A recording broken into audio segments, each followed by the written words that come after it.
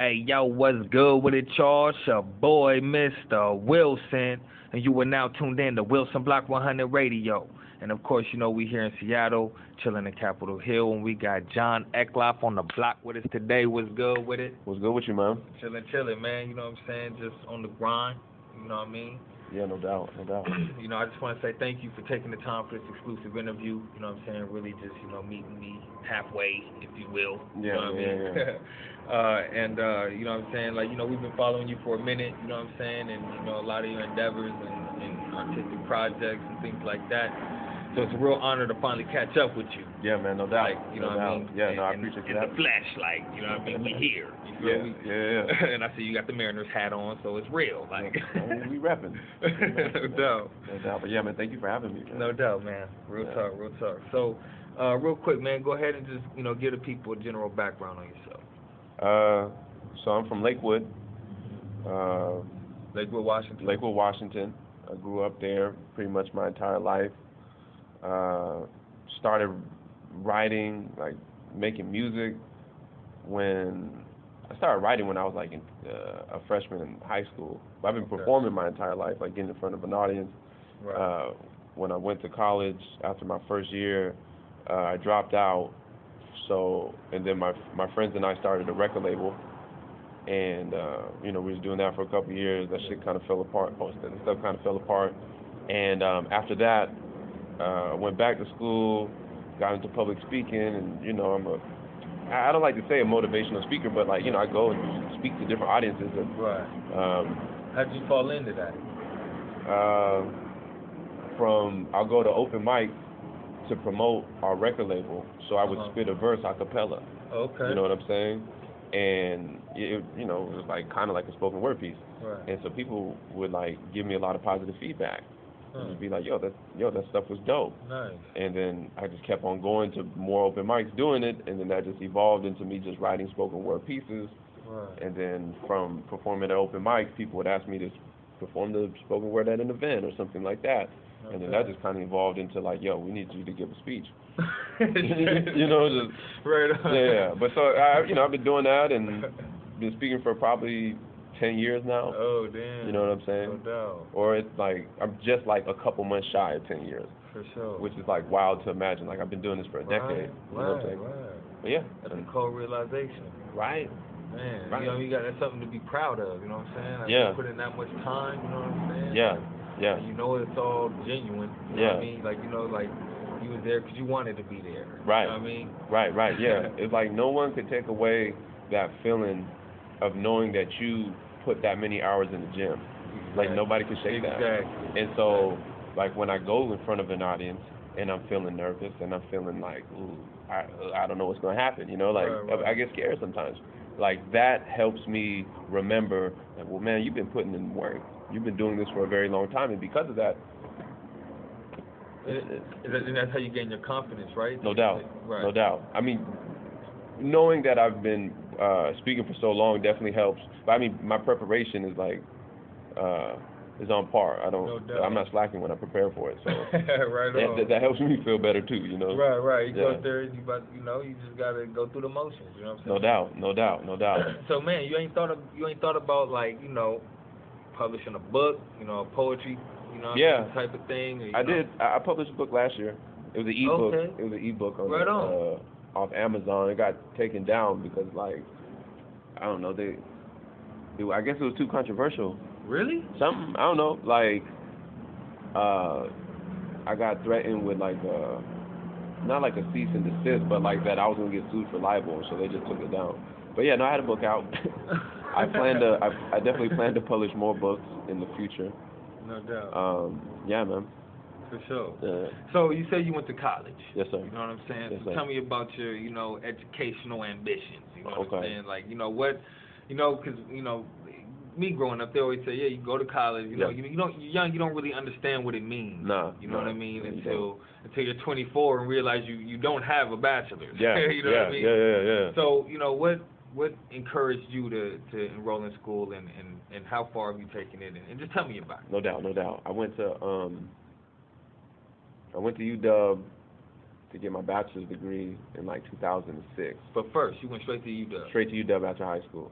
What? And uh, yeah, I dropped out after my first year because like it, it's not what I wanted to do. I was like, well, I'm going to be a rapper, and we're going to be famous in like six months. So Right, right. what I need a what I need a degree for. And so we dropped out, went back home, and I was like away from school for almost three years. Never planning on coming back. Never just like I'll self educate myself. I'll keep reading, Right. studying my own stuff. Okay. Um, but I don't know if I'll go and do formal schooling. But uh, in the August of uh, 2009, Mhm. I uh, was walking around UW and I hella listened to my intuition. You know what Mhm. I'm saying? And my intuition was just like, bro, you need to go back because there's more opportunities out here for music and stuff rather than just staying in Lakewood. Yeah. So I went back to school in 2009, and uh, that's when I really started doing public speaking. And uh, graduated 2012, Nice. and then uh, Congrats on that. yeah, no doubt. Then I went back and got my master's degree Thank you. about two years ago, and so I just graduated in June. Oh wow. Yeah. Man. So what, what was your major? Um, multicultural education That was for for my master's degree. Okay. My bachelor's degree was in uh, American Ethnic Studies. So basically, my master's degree is just getting basically like how to teach what I learned in my undergraduate. You know Oh, what I'm okay. saying? Because it's like ethnic studies, so it's like the history of people of color coming to the United States and Exactly. issues of racism and oppression and power and all those dynamics. Like uh, my master's degree is just you know saying that I have a paper that that makes me legit. You know right, what I mean? right, no doubt. So I mean, you guys actually teaching the subject, right? Uh, I mean, shit. I'm look. I mean, I'm looking for a job that uh, where I would be able to like, because I can't teach uh, at a at a four year university with a master's degree, but I could teach. Uh, Get a PhD. Yeah, yeah, yeah. But I could teach at a community college. You know No doubt, exactly. Yeah, yeah, yeah. And like, I mean, even if it's not formally, I I still like to do like informal talks Right, with people just to share the history because I think it's Exactly. important for people to know because you're not gonna learn this stuff in school right. and you're not gonna like knowing the most crucial parts of like race, history, power in the United States. Um, you're not gonna learn it in school, so you're not gonna really know what time it is or how this world is operating now. You know what I mean? And this is like, it's, I I feel like it's crucial information for people to to be exposed to. Changed my life when I figured it out. You know? Man, no doubt, man. That's Yeah. what's up, man. You know what I mean? You, you got to continue to search.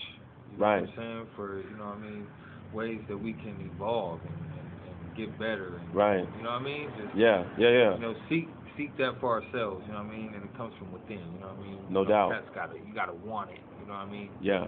So that's why, like, you know, I, I applaud you because just from from what it looks like to me, that you know, for the most part, I mean, you you've made, you know, good decisions for your future. You know what I'm saying? And that's That's right. that's that's critical. I made some You know I mistakes. mean? Well, of course. I mean, that that's inevitable. Yeah, You know what no I'm doubt. saying? But at the same time, like, you know, we all, you know, can, you know, fuck up, like Yeah. straight up. Like, Yeah, I mean, yeah, we, we can all just like, you know, fall off and and I mean, you know, anything can happen. Right. You know Right. I Right. mean? Right. Like in LA, you know what I mean? Cats choose to gangbang, you know what I mean? Then you got cats that grew up in that environment that that don't gangbang. You Mhm. know what I mean? You look Mhm. at those cats like, okay, when they were confronted with the decision, like what kept them or what made them Yeah. it, You know what I mean? And, Yeah. Yeah. Yeah. yeah. You know, I look at it like that, you know what I'm saying? Okay. So, you know, how, you know how people choose to spend their time, you know, all you know, things like that. Yes, sir. Yes, sir. I. But but yeah, you know, just going back Appreciate real quick, you know what I mean, what what led you to become an artist? Like what was it that like I'm sure hip hop inspires you. You Mhm. know what I mean? Like what was the first, you know what I mean, music that that made you like feel like, okay, I wanna do this. Yeah. Uh, I mean, I think creating art has like been in my soul since I was born. No doubt. Um, Hip hop really crystallized that and really helped me with the avenue for it, Yeah. and that had to be really my freshman year of high school. My homies, we would listen to um, What year we talking? this 2001. Oh damn, oh one. Oh, one. Yeah, well, my homies and I, we, you know, we like, we would listen to the squad mixtapes. We would listen to, you know, early Fab. We would listen to, you know, uh, that's when G Unit was popping too. So Mhm. like, all of these mixtapes and these cats are writing hella uh, punchlines, and so me and my homies would just like write, you know, two liners, and you know, just really just try to be creative, and that just evolved into writing verses, and I mean, that really Wow. got me into to hip hop. You know what No I'm saying? Yeah. Now, how is hip hop in Lakewood? Uh, I mean, I don't know. I mean, there's people out there making music, Right. but it's like I wouldn't say that there's like an actual scene. nah. There's more of a scene in Tacoma for Okay. sure, and they and, and folks in Lakewood just kind of get all like lumped into that. Right, right, yeah, right. yeah, yeah. But there's some people out there though. For sure. There's some, there's some people out there. No doubt, man. So, man, let's talk Lacosa. You Okay. know what I'm? Yeah, yeah, So, no and- and- doubt. and Just to, just to even bring me up on speed, what does Lacosa stand for? I know it's like an, an abbreviation for something, right? Oh, damn, you put me on the spot. Uh, uh, loosely affiliated, uh, something like, dog, I don't know. It's Right, something right, about right. loosely affiliated artists like coming together on some shit. I I don't know. I, I can't. I like. I wasn't there for the like. come together as a big- Yeah, that sounds right. Like you know. What I mean? That's the vibe. I mean, like, uh, I joined La Costa like towards the end of it. You know what I'm saying? Like, I wasn't like a founding right, father right. of the joint. So like, they signed me to like the two year deal real quick. You know? Right. The, you know the the one year and opt out. option, Yeah, yeah, yeah. option, You feel me? when you're in the option. yeah, bro. you know? They're, they're trying to like, we're trying to test the waters. Okay, you know? okay, no doubt. So, okay. yeah, I- That's I- insightful. you know what I mean? You know. Just the background, you know. But yeah, man. okay, so you know that one track we did. You Yeah. know what I'm saying? Like, Yeah. you know, how did that come together? Um, I started. Uh, I met DL. Shout out to my brother DL. I met DL at, at school, and he let me know about Cipher Mondays. So I started going to Cipher Mondays and and spitting 16s, and then just from making connections with everybody there, vibing with them, Yeah. they asked me if I could be on the track, and so I was like, yeah, no doubt. And you know, it's wild because it's like I collaborated a lot with Lacosta even before I was officially like on, you know. No. But I mean, you know, shout out to Mackie, shout out to Xavier, um, shout out to everybody up in there. Know, Yeah. so, to Trey. And then the video was crazy, man. You, know, you guys was like everywhere. You Bro, guys it was hella. blowing shit up. And, Yeah, You know what I mean? yeah, was- yeah, yeah. Like it was crazy. It was a lot, bro. It's like 13 cats rapping on the track. Like that shit lasted. That's the spot. Yeah, uh, yeah, yeah. Which is wild because like, oh damn, yeah, man, that was like one of the first times I really kicked it with him. Yeah, that was a good day. I remember that day. No doubt. So yeah, man, you know, when it comes to like, you know, writing new material, you know what I mean, or you know, just coming up with new concepts and subject matters and just just like reinventing yourself, Yes, right? You know what I mean? Where, where do you draw your inspiration from? Um, definitely my life. Definitely the people around me. Um, I draw inspiration from from everything. I mean, my dreams. I document my dreams and or record them and just look at them and reflect on them. So there's that, and I mean, like the community, the people around me, on a day to day. So like my family and stuff. All of it, I just, you know, is a an amalgamation or like a, uh, all of these coming together, combined together, like was where I draw a lot of my inspiration from. No doubt. You know, No yeah. Now, do you ever experience like you know things like writer's block, where like you feel like just just creatively Yeah. or artistically, Yeah, you know, you come to like a, a halt, Oh, yeah. like a drag. Yeah, no doubt. No Like, doubt. How do you deal with it? man, I just sit in my room hella depressed and not know what to do with my life. Nah, like, yeah, bro.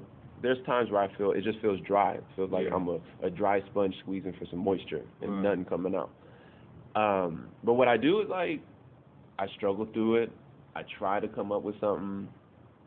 You know, hit my head against the wall for two hours and you know, come up with something that's like you know you're not really satisfied with, but then Right, right. you just kind of sit with it and then you go through it because I think that's just part of the process of creation. Exactly. It's not always that way, but like there's sometimes where it does take that long. But if you Right. you know you sit with it, persevere through it, eventually, you know you're gonna come around and something's Exactly. gonna strike you. But you just have to be able to like um, really like sit in that discomfort. You know what I'm saying? Real talk, man. Yeah. That's, that's a good way you put it. You, know? Yeah. you gotta you gotta ride the wave. You gotta endure. Right. You know what I'm saying? And still have that genuine desire to do it. to do it, no doubt, no doubt. Like when I was, uh, you know, being in school for like the last two years, I haven't really been able to like dedicate my creativity to to um, or to art. Uh-huh. It's just, I just been studying, and so after I graduated, you know, I was like, man, I gotta write, I gotta do something.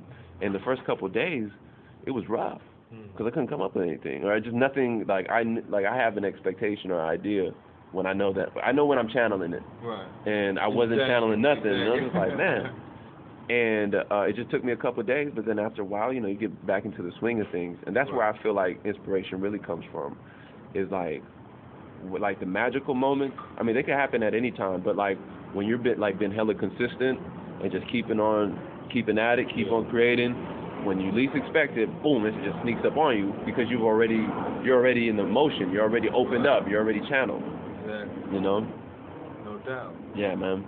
Well, talk, man. That's real. Thank you. so, um, let's talk current and upcoming projects. You know what I'm saying? Like, I know you got some stuff. You know, let's talk about some of the stuff you got out right now. Yeah. You know what I mean? And, Yeah. You know what's what's uh what you got on the on the upcoming. Upcoming. Okay, I mean, um, on my uh, I have a website, johneklof.com, where my writings up there. Um, my book was up there, and uh, my spoken word albums up there. And there's like videos and stuff of uh, performances and times that I've spoken and stuff.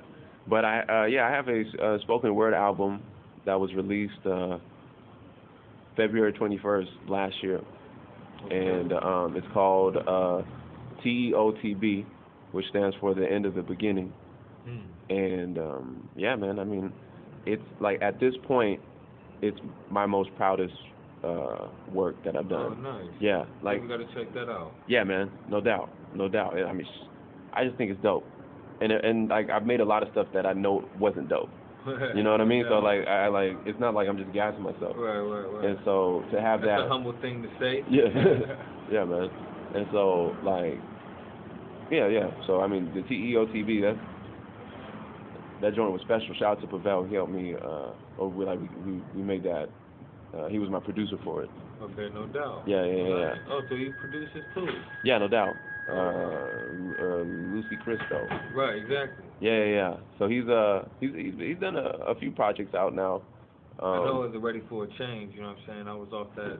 Oh yeah, project you did. yeah, yeah, yeah, yeah. That, was like, I might. I'm sure I even have some of it on my phone. Like it's, it's beautiful. Yeah, It's a yeah. Fucking hip hop album. You Yeah, no, he's good people, man. He's good people. He's done a lot of like more behind the scenes now. Right. You know what I'm saying? I mean, he still makes music, but he's like been stepping into like his Rick Rubin. You know what I mean? He's like in the behind the boards and just like Exactly. like helping facilitate a vision. Exactly. And so like I mean, Vel is one of the most crucial people to have on your team when you're like wanting to make a project because he just knows what he's doing. Um, but yeah, man, like I don't know. I feel like I've been deviating a lot, but like to get back to your question, hmm um, projects that I got coming up. Right. Uh, I got another. Uh, I'm gonna drop another album, hopefully by the end of the summertime. hmm Um, it don't have a title. Yeah. Nah, nah. Or it don't, or it won't. It, it just doesn't at this Okay. point, but it will. It will. but yeah, we we just don't know the title. But I'm working with Prevail, so it's gonna be. Uh, I'm excited for it. No doubt. Yeah. We definitely gotta check out what you got out now, man, and you know what I mean.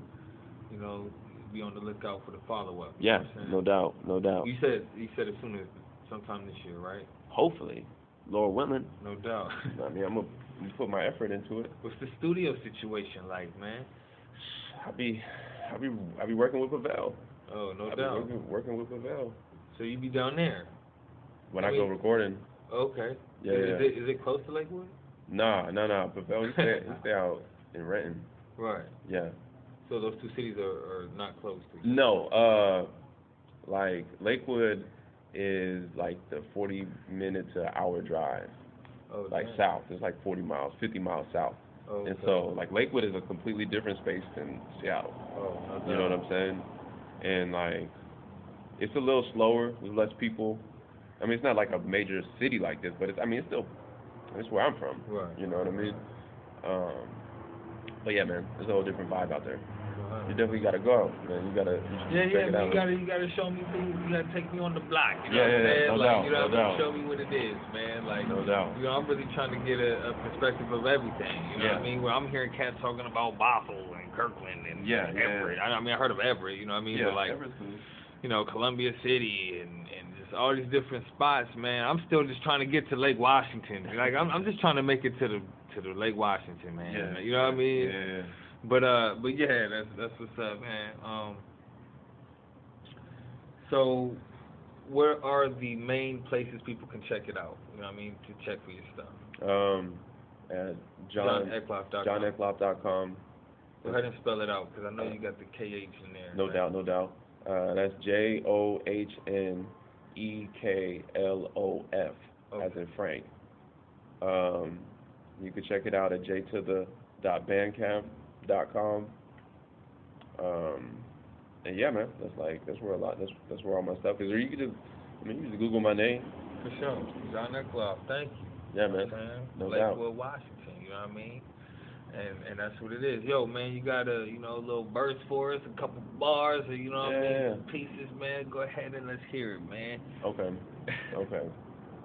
Uh, yeah, this is off the album, and just like to keep it in tune, because you know Jay Z just dropped an album, and it's like, I mean, I'll just, mm-hmm. life sales used to poison my body, had me saying F Mike skills.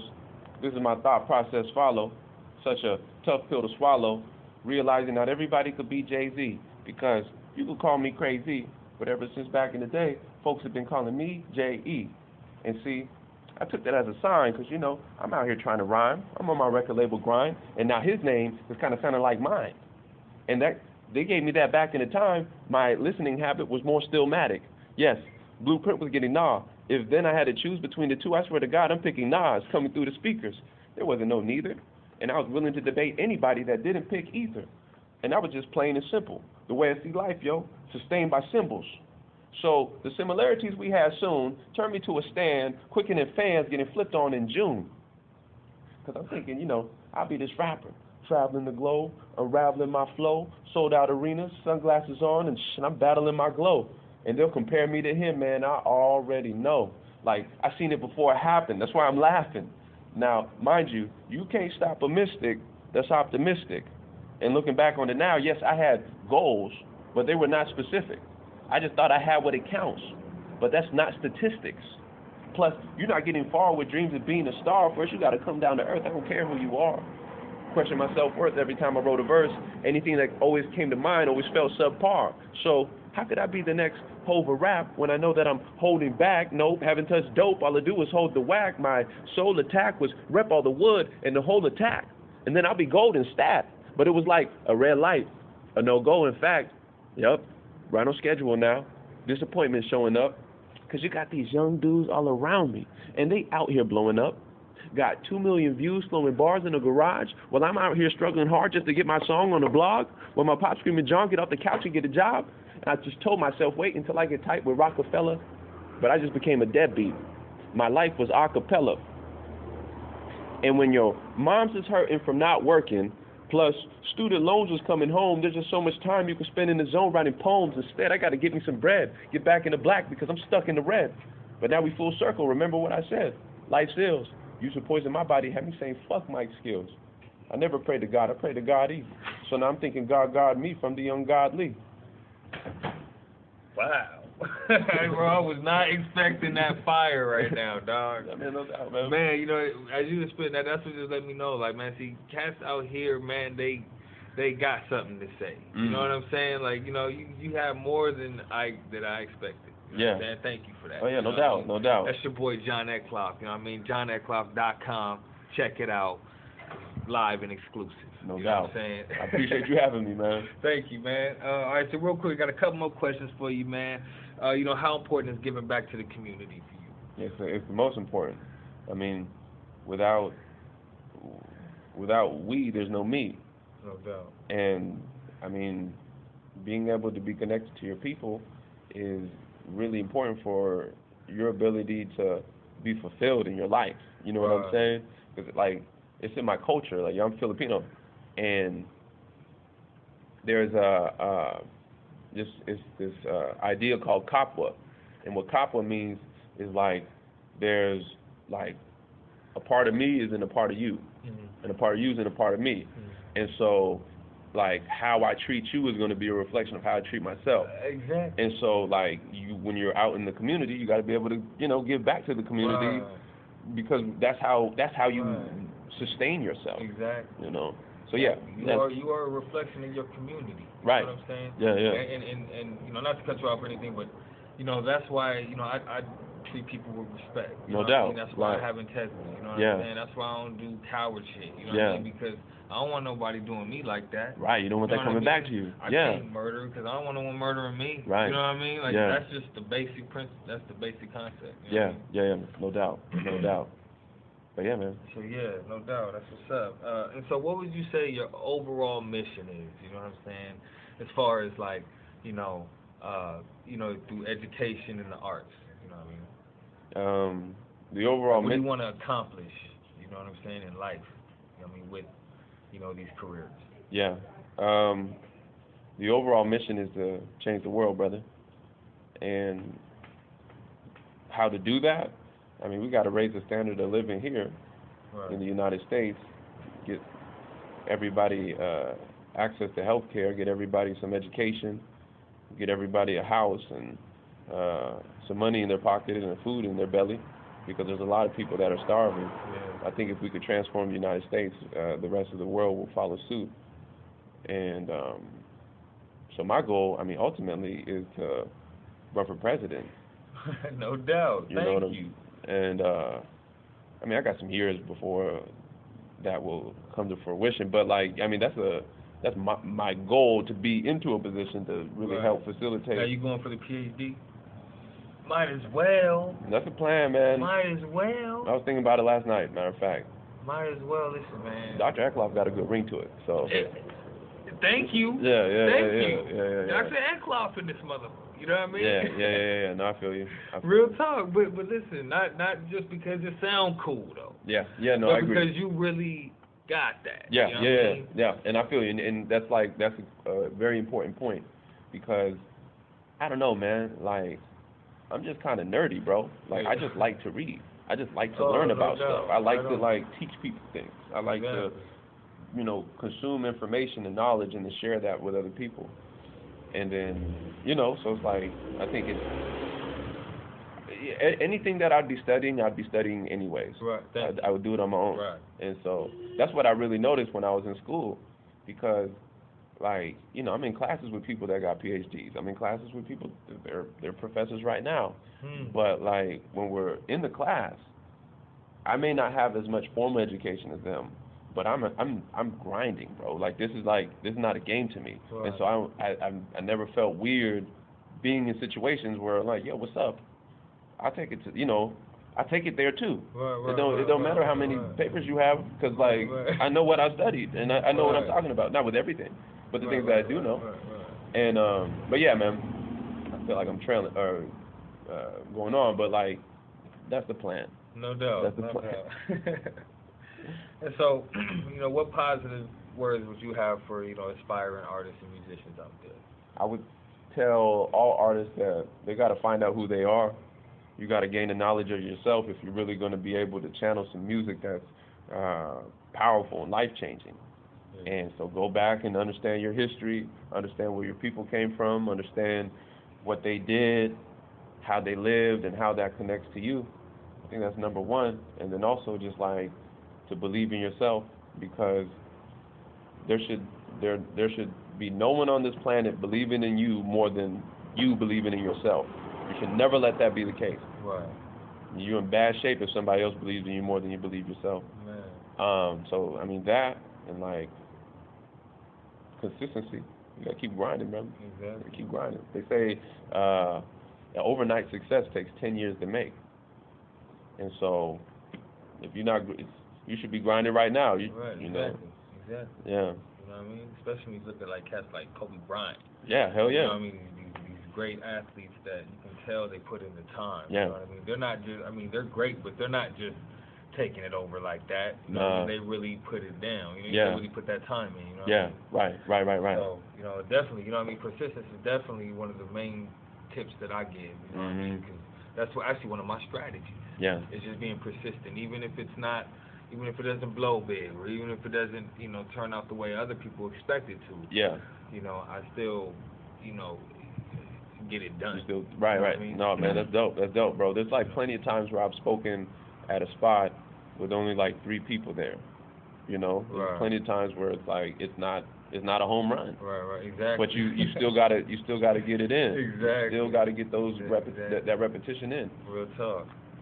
So, uh, yeah, man, John Eklof has been great, you know what I'm saying, having you here for this exclusive interview with the Wilson Block. Uh, you got some shout outs, man. Let's go ahead and hear them. Um, want to give a special shout out to Lakewood. Uh, shout out to my homies. Uh, shout out to my boo. Shout out to my family.